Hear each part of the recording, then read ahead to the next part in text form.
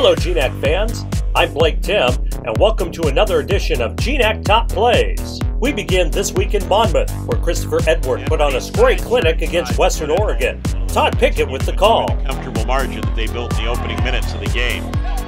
Start to Chris Edward. Gonna count it. We're in time.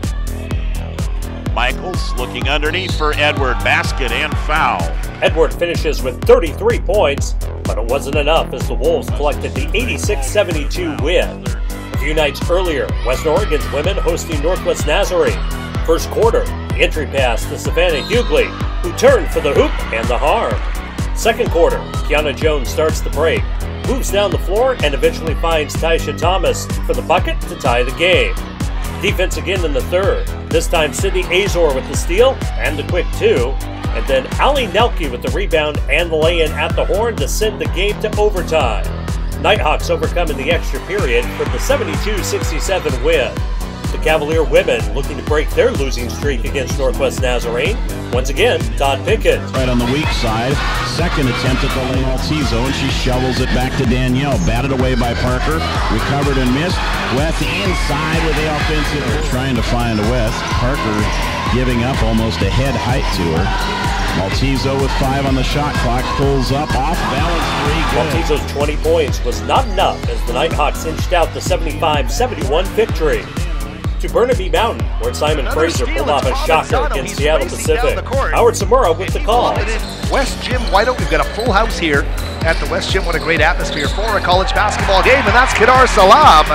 and we're really trying to build off that. You know, I think when you look at what we want to do moving forward, we're going to be the best we possibly can with the best players. Now Kadar with a chance here on the baseline. He drives and kicks the three ball. Bingo! JJ Pankratz knocks down the big shot. So Seattle Pacific has made big plays on both ends of the floor, but Muir Kyung, number five, makes one of his own, a steal right down the floor. Jordan with a lay it up and in. The Clan outscores the Falcons 51-44 in the second half behind 35 points from Kadar Salam. They win 81 to 80. Further north in Anchorage, Western Washington looking for an upset of its own over the Seawolves. 14 feet this time. Anna Stepanovic. More basketball season to be played here for the Lady Seawolves.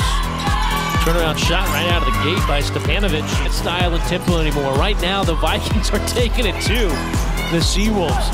And Stepanovic is fortunate on the shot. Over to Ware. Ware on the drive behind the back pass. Tried something probably a little too fancy that wasn't needed. Leads to a turnover. Stepanovic off the glass and in. Keaton Homer with the call, but an upset was not in the cards as UAA coasted to the 66-59 win. Western Washington and Seattle Pacific putting on a show in Bellingham and on Root Sports. That's Dalton Thomas. difference in talent between these two teams, but the best you can uh, shoot the ball from the three. Kicked right back to Drexel. Dixon tip in rebound